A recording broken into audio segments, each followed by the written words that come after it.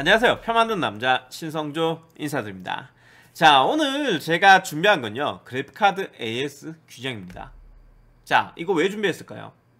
썸네일 보셨으면 아시겠지만 지금 채굴 그래픽카드가 매물로 팍팍 쏟아지고 있죠. 근데다가 이더 채굴이 종료되었습니다.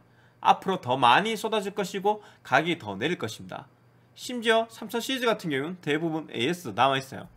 그다 보니 분명히 채굴 그래픽 카드를 고민하고 계신 분들 있을 겁니다. 아니면 지금 고민 안 하더라도 더 내리면 사겠다 하신 분들 있어요. 자 이렇게 얘기하면 그럴 거예요. 에이 나는 절대 채굴 제품 안 산다. 아, 이러시는 분도 있을 텐데 사실 못 파는 물건이란 건 없습니다. 가격이 중요할 뿐이에요. 어, 물도 파는 세상에 그래픽 카드 못 팔 게 뭐 있습니까? 가격만 싸면 분명히 사시는 분도 있을 거란 말이에요. 자, 그분들을 위해서 오늘 AS 규정을 준비했습니다. 물론 신제품 사시는 분들도 이 규정을 알아두시면 좋을 겁니다. 아, 최근 기준의 AS 규정 규정을 제가 일일이 검색을 했어요. 노가다 좀 했습니다. 보시면은 어 이거 아니구나. 상당히 많은 사이트를 쭉쭉 들어가서 일일이 다 봤다는 거 볼 수 있어요. 자, 그래서 그 구규정하고 요새 규정하고 다를 수 있거든요. 그거 다 제가 한번 선별해서 표로 만들어 놨고요.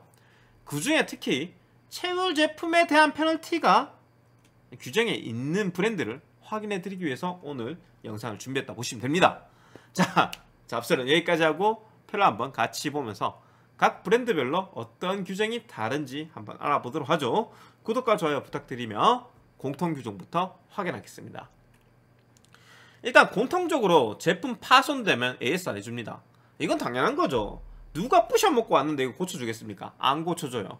근데 조금 억울한 경우가 있을 수 있는데 PCB 기판의 변형이라고 제가 적어둔 부분이 있는데 이거는 그래픽카드가 많이 휘다 보면은 회로가 끊어진다든지 혹은 아 일부 소자의 뭐 불량이나 아니면 사용상의 뭐 먼지 같은 거 습기 같은 거 문제로 불에 타는 경우가 있어요. PCB 기판이. 그런 경우 AS가 안 됩니다. 자 불에 탄 게 어떻게 생겼냐면 그래픽카드 불탐 치고 보시면 이런 식으로 대놓고 그름이 생겨요. 자 이런 경우 AS가 안 되니까 이거는 손으로 안 된데도 AS 안 되는 경우 있거든요. 그런 경우는 상당히 안타까운 음, 문제가 생길 수도 있습니다. 그래서 여러분이 채굴 제품 사실 때 분해를 해서 볼 수는 없겠지만 적어도 이제 틈틈이 봐서 외관상 탄 부분이 있는지 없는지는 보셔야 될 겁니다. 기능은 당연히 잘 들어가는지 봐야 되겠지만 처음에 받자마자 다 확인하십시오. 그리고 이상하다 싶으면 바로 반품 때리세요. 어, 천재지변. 아 이번에 수혜 지역이 꽤나 되는데 물에 잠긴 그래픽카드 AS 안 되죠? 그렇습니다. AS 안 돼요. 이건 사서 수리 맡겨야 돼요. 어, 다수의 소자 단락. 소자 단락이라는 게 뭔 얘기냐면은 그래픽카드 같은 경우에는 음, 보시면 이렇게 확대해서 보시면 여러 가지 부품들이 이렇게 들어가 있습니다. 뭐 모스펫 커피시터. 커피시터 안 보이냐? 어, 커피시터도 있고. 그리고 지금 보시다시피 초크라든지 아니면은 MLCC부터 시작해서 그 소자료 작은 것들이 이런 것들 저항류 아니면은 뭐 그 퓨즈 비슷한 기능을 하는 거 그런 것들 이런 것들이 다수가 떨어지면 AS 거부당해요. 물론 그거는 파손하고 똑같은 내용이기 때문에 사실 문제가 당연히 되는 거고요. 한두 개 떨어졌는 경우에는 AS 해주는 경우가 많거든요. 그러니까 그런 경우는 AS 한번 보내보셔도 괜찮을 것 같아요. 하여튼 이런 식으로 그 대놓고 눈에 보이는 파손이 있는 경우 변형이 있는 경우는 AS가 안 됩니다.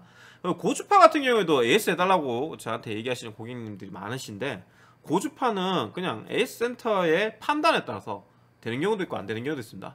보냈을 때 솔직히 대부분 안 돼요. 안 되고 진짜 정말 심한 애들. 그러니까 우리 어머니 아버지 우리 어머니 아버지는 이미 연세가 좀 있으시죠? 그 정도 되는 사람한테도 들릴 정도의 고주파. 이런 것들은 AS가 보통 됩니다 근데 내만 들린다. 뭐 또 헤드셋 끼면 잘 안 들리는 수준이다. 이러면 AS 잘 안 돼요. 심지어 AS 돼서 교환돼 온 제품이 더 시끄러운 경우도 많기 때문에 약간의 고주파 나는 건 보통 참고 쓰시는 거 권장드립니다. 진짜 뽑기운 나쁘면은 교환받은 게 더 심하게 나오고 그걸 또 재차 교환해달라고 하면 잘 안 해줘요. 펜서원 같은 경우에는 AS 되는 경우가 많습니다. 그래서 이거는 한번 보내보는 게 좋아요. 보통 펜서움이 심하면 어, 2차 구매자에 대한 제한적 보증 내용이 다소 보이거든요. 2차 구매자가 뭡니까? 중고로 사신 분들 중고로 사시면은 뭐 AS 기간 같은 거 페널티가 있다든지 이런 내용이 있기 때문에 중고로 사실 때는 웬만하면 구인 영수증 같이 받아두시면 좋습니다 구인 영수증 못 받았다? 그럼 보통 시리얼로 AS가 된다 보시면 돼요 아 당연히 제품의 개조 또한 AS 거부 사유입니다 오버클럭해서 겉으로는 표가 안 나지만 개조 바이오스를 씌우는 경우가 있어요 뭐 자동 오버되는 개조 바이오스라든지 아니면 더 폭넓게 전력 공급 혹은 메모리 오버가 되는 개조 바이오스 이런 거 씌우는 경우 당연히 AS 거부 사유입니다. 그 외에 딱 봐도 겉에서 표가 나는 쿨러 변경 뭐 아니면은 shroud 예, 껍데기죠. 껍데기나 방열판 변경도 AS 거부 사유입니다. 그뿐만 아니라 눈에는 안 보이지만 뜯고 나면 확인이 되는 thermal 패드 변경 이것도 AS 거부 사유고요. 금속 thermal, liquid 같은 거 쓰시면 있잖아요. AS 거부 사유입니다. 이거 다 아셔야 돼요. 그래서 thermal 패드가 그 이 제품의 본래 thermal 패드인지 아닌지 어느 정도 확인이 필요해요. 그걸 어떻게 확인하는데요? 어, 제품 분해도를 찾아보셔야 됩니다. 귀찮겠지만 그 이런 테크 파워 같은 데 와보면은 제품 분해했는 거 나오거든요. thermal 패드 뭐 썼는지 보고 싶으면은 요 3번 항목 들어가면 있어요. 그거 보시면은 얘 기본 썸을 뭔다 이런 게 보일 테니까 보시죠. 아, 이거랑 똑같은 거 썼는지 변경이 안 되는지 한번 확인해 보면 좋아요. 아 물론 이거 일일이 다 명시 안 해놓을 거기 때문에 모르고 사신 분들 꽤나 많을 것으로 보입니다. 그리고 WD40 펜 제대로 안 들어간다고 뿌리신 분들 정말 많은데 이것도 에이스 거부의 사유예요. 네가 이걸 어떻게 한대? 어, WD40은 이제 특유의 향도 조금 있고 이거 자주 보신 분들은 이제 묻은 거 민떼 가지고 봐도 어느 정도 알 수는 있어요. 알 수 있으니까 이거 이제 펜잘 안 들어간다고 뿌리신 분도 좀 있는데 하지 마세요. 하지 마시고요. 어, 침수나 부식도 에이스 거부 사유입니다. 네, 물 쏟아가지고 침수되거나 이것도 티가 나요. 완전 진짜 깨끗하게 말리지 않는 이상 잘 모르는데 아 깨끗하게 말리면 잘 모르는데 깨끗하게 말리지 않는 이상 티가 납니다. 그리고 부식 이거는 이제 습기가 많은 환경에 사용하거나 아니면 에어컨 앞에 두고 쓰면은 부식되는 경우 좀 있어요. 부식은 어떻게 이루어지냐면은 어 그 소자가 붙어 있는 쪽에 부식이 이루어지는 경우도 있고 아니면 지금 쓰시는 제품의 방열판 아니면 구리 힙파 이런 부분이 심하게 부식되는 경우도 AS 거부 사유에 속합니다. 조심하셔야 돼요. 그리고 AS기가 남아있는데 사설 서비스 센터 이용해서 어, AS 하면은 이거 티가 나거든요. 납땜하면 티 나요. 그래서 이것도 AS 거부 사유니까 말 그대로 손을 대지 않고 사용을 하셔야 AS 거부를 안 당합니다. 자 그렇게 공통사항은 다 보여드린 것 같고 각 브랜드별로 조금씩 다른 부분 한번 보겠습니다 일단 아수스 자 임의분해 불가합니다. 뒤에 스티커 붙어 있어요. 어, 밀봉 스티커 있기 때문에 뜯으면은 바로 티가 나요. 어, 뜯는 순간 AS 빠이빠이에요. 서멀 제도폰은 개인이 할 수가 없습니다. 당연히 분해가 안 되니까. 다만 온도에 문제가 있을 경우 AS한테 입고하시면 제도포 해줍니다. 이거 규정 바뀌었어요. 올해 들어서 아마 바뀌었나 그랬을 거예요. 작년 말인가 올해인가. 어, 개인당 두 개까지 해주는데 이 항목이 왜 있냐면은 그 막 10개, 20개 들고 오신 분들 분명히 채굴이거든요. 그런 사람들한테 페널티 주겠다는 얘기죠. 그리고 PC방 같은 경우에는 어, 30개까지 해줄 수 있다고 합니다. 뭐 30개, 온도 문제 있는 게 30개나 나올 리가 잘 없어요. 그래서 웬만하면 다 해주겠다는 얘기고 이거는 사업자 등록증 가지고 가셔야 됩니다. 여튼 그래서 분명히 채굴에 대한 페널티를 주려고 하는 게 눈에 보입니다. 어, 채굴 제품 AS 규정. 인텍은 1000 시리즈 때 그래픽카드 유통 안 했기 때문에 채굴 제품을 유통을 안 했어요. 물론 뭐 일반 제품 채굴 흘러갔을 수는 있겠지만 어찌, 어찌됐든 그래서 채굴 전용 제품에 대한 AS 규정은 없습니다. 그리고 채굴 제품으로 확인될 경우 RMA로만 AS 진행됩니다. 보통은 RMA를 진행 안 하고 가지고 있는 리퍼품으로 교환을 해줘요. 리퍼가 없을 때 새 제품 교환해 주는 경우도 드물게 있습니다. 하여튼 그러니까 바로바로 바로 막 교환 AS가 되는데 음, 채굴 제품은 확인되면은 교환 안 해주고 이거를 막 거의 한 달 가까이 걸리는 대만에 AS 보냈다가 받아와서 준다는 뜻입니다. 그리고 개조 바이오스 적용 시 AS 불가 사유가 있습니다. 이거 밑에도 있는 거죠. 밑에 있는 건데 어 이거를 또 따로 적어놨더라고요. 그래서 계좌 바이오스 원복 안 하면 AS 안 될 겁니다. 아, LHR 제품을 논 LHR로 바꿔달라든지 논 LHR을 LHR로 바꿔달라든지 뭐 메모리를 삼성 메모리 기반인 걸로 달라든지 이런 선별 출고 불가능합니다. 수율 좋은 거 주세요. 이런 거 안 됩니다. 이런 거 요구하시면 안 돼요. 이거 해준 데 없어요. 제가 밑에는 귀찮아서 안 적어놨는데 딴 애들도 다 안 됩니다. 어느 회사 가든 이런 거 안 해주니까 요구하시면 안 됩니다. 아, 공통사항은 넘어가고 구입 영수증 기반은 14일 초기 불량 책임져 줍니다. 초기 불량 같은 경우는 새 제품 막견이죠. 14일까지 해준다고요. 어, 긴 편에 속합니다. 14일 해주는 데가 네 군데거든요. 자, 그 다음 기가바이트 볼게요. 기가바이트는 제이시언하고 PC디렉트라는 회사 두 군데가 AS가 별도입니다. 제이시언은 그 CS 이노베이션에 위탁을 했고요. PC디렉트는 자체 AS를 해줍니다. 어쨌든 기가바이트 본사에서 원칙적으로 분해 불가라고 합니다. 그렇기 때문에 여러분 썸을 제도파하고 썸을 패드 교체를 하면 안 되는데요. 사실 이거 얘네들은 밀봉 스티커가 없기 때문에 뜯어도 표가 안 나요. 여러분이 나사를 해먹는 게 아닌 이상 나사 위에 머리 다 망가지고 이러면 들킬 텐데 그게 아닌 이상은 표가 안 나요. 그렇기 때문에 전화해서 물어보면은 원칙적으로는 안 되는데 뭐 여러분이 그 thermal 재도포나 thermal 패드 교체하고 AS 보낼 때는 원복해서 보내주세요. 그럼 파손 없으면 AS 해줍니다. 라고 얘기를 합니다. 네. 그거는 제이씨현이고요. PC 디렉트도 원래 제이씨현하고 똑같았는데 PC 디렉트는 채굴이 한참이돼 21년쯤에 어, 임의 분해 및 비공식 thermal 패드 구리스 사용을 금지한다 라고 다시 공지를 내렸어요. 그래서 분해를 하면 안 돼요. 하지만 마찬가지로 얘네들도 분해했는 거 티가 안 나기 때문에 여러분 조심스럽게 분해해서 뭐 원복했다 그러면은 AS 거부하지는 못할 겁니다. 어쨌든 그건 속이는 거니까 안 좋은 짓이겠죠. 저는 권장하지는 않습니다. 어, 여튼 원칙적은 분해 불가지만 thermal 재도포랑 thermal 패드 교체를 하고 난 뒤 원복하신다면 AS 받는데 제한은 없다라고 보시면 되겠네요. 어, 채굴 제품에 대한 AS 규정은 별도로 없고요. 음, 일반 제품을 채굴로 사용했을 때 또 딱히 없습니다. 근데 어떤 솔직한 소비자가 직접 이거 채굴했던 제품이라고 밝힌 적이 있습니다. 그러니까 밝혔을 때 AS가 페널티가 있다는 답변을 받은 사례가 있기 때문에 뭐 개인 채굴 했더라도 채굴했다고 밝히는 순간 당연히 페널티가 있을 것 같습니다. 뭐 그렇게 안 밝히는 사람이 대부분일 거기 때문에 보통은 문제가 없겠죠. 자, 기가바이트 이렇게 얘기하고 넘어갈게요. 그 다음에 MSI입니다.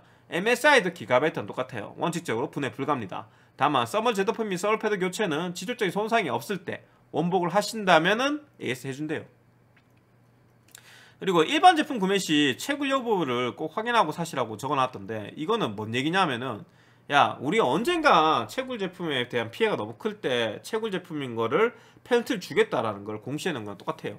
그래서 채굴이 안 된 제품을 중고로 사시라는 얘기를 어, 돌려 얘기한 겁니다. 어, MSI 같은 경우에는 마이닝 전용 제품을 판매한 적이 있는데요. 이거는 뭐 7년도, 8년도 얘기입니다. 17년도, 18년도. 예, 지금하고는 상관없고 얘네들 AS 어차피 다 끝난 거니까 무시해도 됩니다. 그리고 일반 제품을 채굴장에 판 적이 있어요. 어, 채굴 장비 납품업체에 어, 직접적으로 이렇게 물건 내린 적이 있을 텐데 그러면 이제 이 납품업체 보증 기간을 확인해서 6개월 동안 제한 보증을 해준답니다. 물론 뭐 슈프림 같은 경우는 이런 데 들어갔을 확률이 좀 낮기 때문에 여러분이 직접적으로 보기는 어려울 것 같아요. 당연히 개조 바이오스나 쿨러 교체, 패드 교체 이런 거 다 안 된다고 아까 말씀드렸으니까 원복 다 하고 AS 받으셔야 되고요. 어, 채굴 제품의 경우 3개월 안이라 해도 서비스 제약이 있을 수 있답니다. 그러니까 이거 옛날 mining 전용 제품 나가는 것도 3개월 안에 뭐 문제 생겼어도 AS 안 해주는 뭐 거부 사유가 있을 수 있다 이런 얘기인데 뭐 아무 상관없는 얘기겠죠.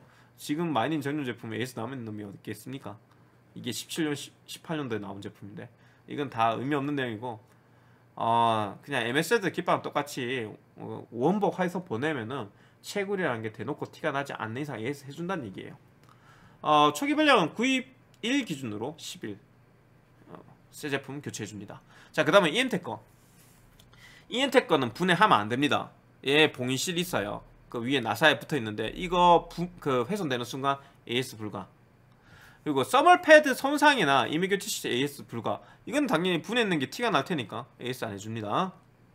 근데 AS 불가가 어, 그냥 아무 AS도 안 해준다는 게 아니라 제조사에다가 그러니까 펠릿이죠. 펠릿에다가 RMA는 보내준대요.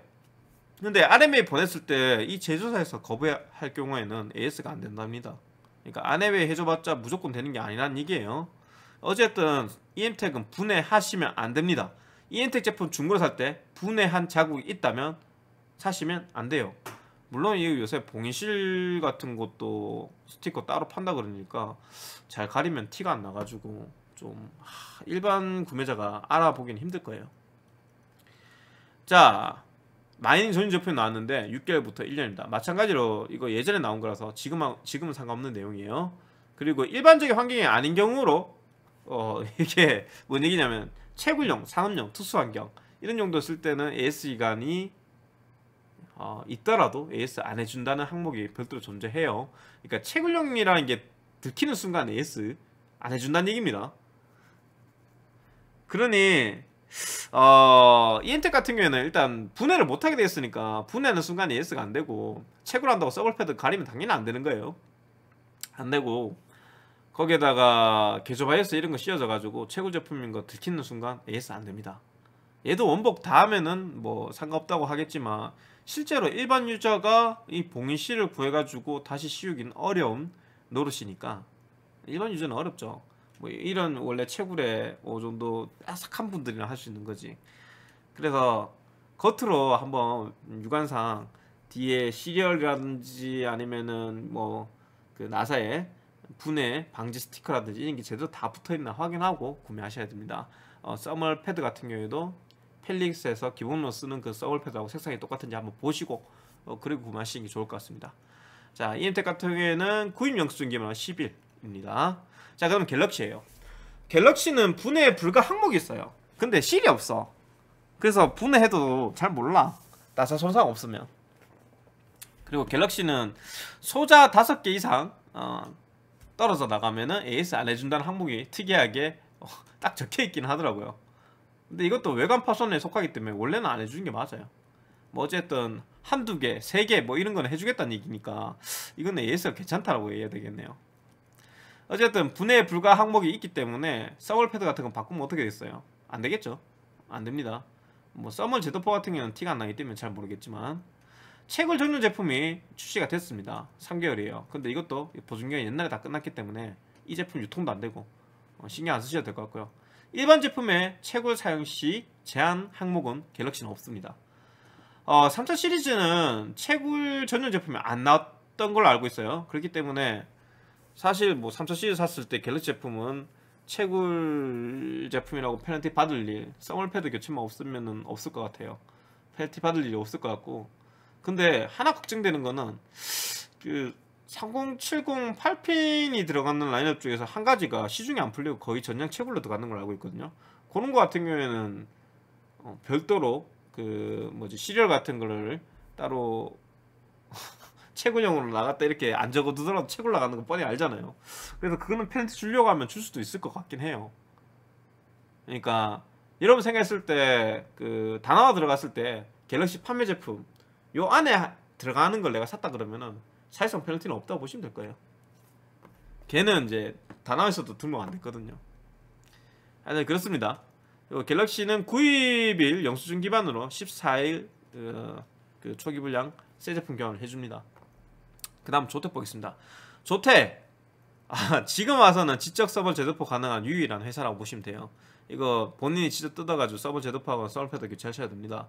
다만 당연히 얘들도 훼손이 있으면 안 돼요. GPU 빠개먹는다든지 이런, 이런 거 있으면 안 돼요. 자 일반 제품 최고 사양된, 사양된 경우 보증기간 내에라도 수리 불가라는 항목이 새로 생기긴 했습니다.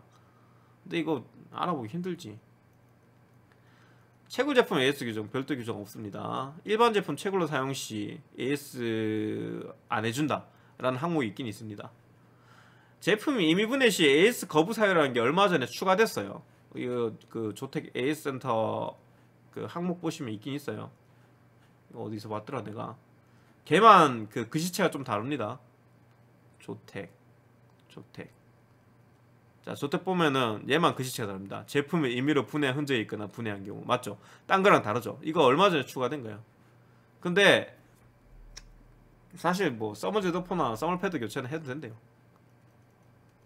어, 구입일 영수증 기반으로 7 셀품 교환해주고요. 초기 불량은 얘가 좀 짧죠. 대신 확대 보증 서비스가 있어요. 2년 추가 확대가 되기 때문에 총 5년의 AS를 줍니다. 근데 3년은 리퍼 교체를 해주는데 뒤에 2년은 RMA 가는 거예요. 근데 나 무상도 아니에요. 여러분이 비용은 내야 됩니다. 2만원 정도의 RMA 비용을 내야 된대요. 어, 그래서 뭐 없는 것보다 나은 건 분명히 맞습니다. 음, 5년이라는 건 나름 메리트가 있죠. 하지만 이건 초기 구매자가 14일 안에 등록했을 때만 가능한 겁니다. 중고로 사신 분들은 안 돼요. 물론 뭐 중고로 사신 분들이 초기 구매자인 척하면서 어떻게 할 수 있긴 한데 되게 복잡합니다 그래서 중고로 사신 분들한테는 확대 보증 서비스가 없다고 보셔도 돼요. 아, 쭉 보고 생각하는 건데 조택 같은 경우에는 사실상 채굴 제품 사셔도 페널티 받기가 좀 어려워요. 얘네들이 뭐 직접 thermal 재도포나 thermal 패드 교체하는 걸 허용해 줬기 때문에 이거 thermal 재도포나 thermal 패드 교체했다고 채굴이라고 우길 수도 없는 노릇이고 개조 바이오스 잡아 씌우지 않는 이상 이거 뭐 알 방법 있나요? 없지 없으니까 조택 거는 별 페널티가 없을 것 같아요 자 그 다음 컬러풀입니다 컬러풀은 임의분해 불가입니다 임의분해 불가라서 여러분 직접 thermal 재도포나 thermal 패드 교체하시면 안 됩니다. 예, 밀봉실도 있어요. 하면 안 돼요. 근데 뭐 센터에 보내면은 온도 문제가 있으면은 thermal 재도포는 해준답니다. 그러니까 그 직접 안 하시고 일반 유저들은 센터 보내시면 됩니다. 근데 채굴 했는 사람들이 그 thermal 패드 바꿨다 그러면은 그때 골치 아픈 거지. 여러분 AS 못 받아요. 예, 스티커 떼지면 AS 못 받는 거지 뭐. 채굴 전용 제품의 AS 기간 이것도 옛날에 채굴 전용 제품 나왔을 때 얘기니까 무시해도 되고요. 일반 제품 채굴로 사용했을 때에 대한 별도 규정은 없습니다. 클러플은 아니 영수증이 없어서 제절 기준 유통 그러니까 제절 기준으로 AS 받게 되면요 유통 기간 3개월을 추가로 넣어준답니다. 그래서 컬러풀 같은 경우에는 되게 오래된 재고품 사지 않는 이상 여러분이 그냥 영수증 없어도 거의 full AS를 받을 수가 있어요. 어, 개조 바이오스면은 마찬가지로 거부당합니다. 그렇기 때문에 개조 바이오스 덮어진 채굴 제품 사시면 안 되고요. thermal 재도포 해줄 때도 있고 그냥 리퍼로 교환해 줄 때도 있대요. 그래서 AS 보냈을 때 재도포 해달라고 보냈는데 그냥 리퍼로 오는 경우도 있습니다. 구입일 기준으로 14일 어, 초기 불량 시 새 제품 보내줍니다. 컬러풀 거 잘못 사면은 thermal pad 막 바뀌는 거 사면은 채굴 제품 그런 거는 AS 거부당하시니까 조금 조심하는 게 좋을 것 같아요. 펠릿 임의분해 불가 가상화폐 채굴에 대한 사항은 AS 대상이 아니라고 빨간색 그냥 적어놨더라고요. 임의분했을 때 RMA는 해줄 수 있다 그러는데 이것도 이제 펠릿이 해줄 때나 되는 거고 보냈는데 RMA 안 된다 이러면은 어 AS 못 받는 거죠. 그래서 펠릿 거는 채굴 했는 제품 사시면 안 될 것 같아요.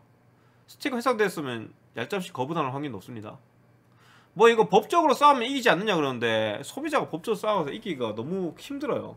이길 수야 있겠지. 근데 그 아니 이거 뭐 얼마짜리라고 변호사 서가지고 법적 싸움 들어가겠어요. 서버원에 얘기하면 그냥 해줄 것 같아요. 아니에요. 서버원이 무조건적인 소비자 편 아닙니다. 규정이 이렇게 적어놨다 그러면은 빠꾸 먹을 확률 높거든요. 그러니까 펠릭 거는 채굴 제품이라 그러면 웬만하면 좀 거르는 게 좋을 것 같아요.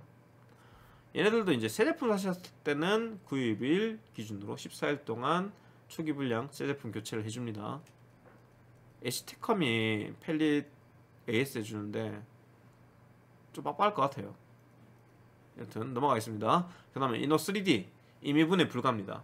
분해 방지 스티커 회선 시에도 마찬가지로 AS 불가합니다. 채굴로 사용했을 때는 보증 무효라고 적어놨어요.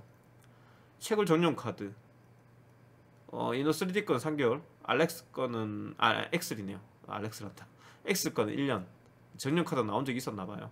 근데 얘네들 전용 카드는 본 적 없어가지고 나왔는지도 몰랐네. 일반 그래픽 카드 채굴 사용 시 제품 보증 무효다. 제조사의 정책에 따른다라고 되어 있습니다. 그러니까 뭐 보증 무효라서 AS 거부당할 수도 있고 제조사 RMA 보내봤는데 해준다 그러면 받을 수도 있고 뭐 그렇다는 얘기인 것 같아요. 어... 실 훼손하면 안 되니까 thermal pad 교체는 채굴 제품 그냥 사면 안 될 거고요. 이너3D 거는 뭐 그런 거 손 안 대고 채굴 했는 거라면은 사실 뭐 사셔도 티는 안 나니까 AS는 받을 수 있을 것 같아요. 구입 영수증 기반으로 10일 초기 불량 시 셀제품 교체를 하더라고요. 프리미엄 서비스랑 서비스 해주는 제품이 있는데 걔들은 1년이라 그러더라고요. 하여튼 그런데 자 이제 쭉 보면은 대충 공통적으로 느껴지는 게 있죠. 뭡니까? 쌍얼패드 교체했는 거는 AS 거부당할 확률이 있다는 거예요. 실제로 거부 당한 적도 있, 있는 걸로 알고 있습니다. 그 사례가 몇 개가 있어요. 근데 뭐 교체하더라도 해준 데도 있기도 하고 그 지사 손님 같은 경우에는 그냥 싸우기 싫어서 해주는 경우도 있는 것 같아요. 뭐 어쨌든 여러분이 사실 때 최고 제품 서멀패드 교체된 거 얼마면 안 사는 게 좋습니다. 어느 수입사든 똑같은 것 같아요. 조태거 빼고. 그리고 봉인 스티커 훼손되는 거. 이 경우도 웬만하면 사지 않는 게 좋습니다. 원래부터 봉인 스티커가 없는 뭐 조텍이라든지 갤럭시, 기가바이트 요런 애들은 티가 안 나니까 그렇다 쳐도 나머지 애들은 봉인 스티커가 있거든요. 뭐 아수스라든지 컬러풀, EM텍 이런 애들 있어요. 펠릿도 있고 이런 애들은 이제 스티커 훼손되면은 AS 안 해줍니다. 그러니까 중고로 사실 때 그거 그 부분은 꼭 확인하시는 게 좋을 것 같아요. 뭐 스티커 어디 파는 데 있지 않나요? 찾아가 붙이면 되죠. 근데 이게 완전히 똑같지는 않을 거 아니에요. 티 나면 걸릴 것 같아요. 그러니까 어쨌든 취한 짓은 안 하는 게 좋아요. 저는 웬만하면 야식적으로 사는 거를 권장드립니다. 그래서 최고 제품 사실 때는 진짜 엄청 싼 느낌이 들 때나 사세요. AS 못 받는다 생각하고 아니면 AS 기간 남아 있는 거 메리트 있게 쓰고 싶으면 여기 적혀 있는 내용은 다 지키셔야 돼요. 오늘도 지켜줬는 제품을 사야 특히 개조 바이오스 원복한 거 그리고 thermal pad 교체 안 한 거 스티커 훼손 안한거 어, 이런 거 사셔야 여러분이 제대로 된 AS를 받을 수 있습니다. 아참 그 분해할 때 분해하지 말라고 봉인 스티커 해놨는 거 이거 했었는데도 안 되겠지만 최근에는 제품 보면은 은근슬쩍 그 일반 시리얼 번호 있죠? SN 번호 적혀있는 거. 이거 바코드 뭉개졌거나 아니면은 그 세척해가지고 찢겨서 나갔고 이런 경우 많거든요. 그런 것도 다 AS 안 되니까 진짜 이 바코드 나가는 것들은 AS 무조건 안 된다 봐야 돼요. SN 번호 없어진 거. 이거는 진짜 주의 깊게 보셔야 돼요. 중고로 살 때. 그래서 구매하실 때는 직거래를 하시든지 아니면은 택배로 받을 때는 어, 사진을 다 찍어 달라고 하세요. 그리고 이 사람들 거래를 충분히 많이 했는 믿을 수 있는 사람인지 한번 확인하시고요. 뭐 그래도 사기 많이 당하니까 어쨌든 책을 구매하실 때는 진짜 잘 고민하고 구매하시는 걸 추천드립니다. 자 이렇게 여러분한테 AS 규정에 대해서 한번 설명을 드렸어요. AS 규정은 자꾸 바뀌다 보니까 제가 지금 영상을 찍어서 올렸더라도 뭐 조금 달라진 부분이 있을 수도 있고 어, 최근 그 제가 공지 기준으로 다 적긴 했는데 실수로 틀린 부분이 있을 수도 있으니까 그런 부분이 있다면 혹시 밑에 댓글 남겨주세요. 자 영상 도움이 되셨다면 구독과 좋아요 부탁드리고 다음번에 더 도움되는 영상으로 만나 뵙겠습니다. 여러분 바이바이